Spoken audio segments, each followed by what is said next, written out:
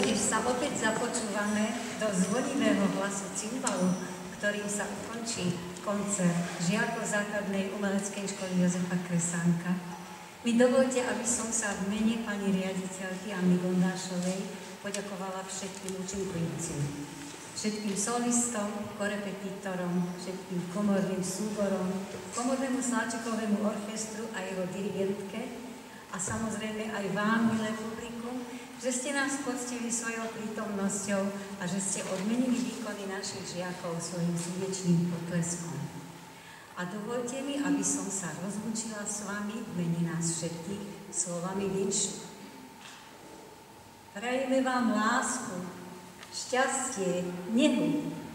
Nech sa vám splní každúčký sen.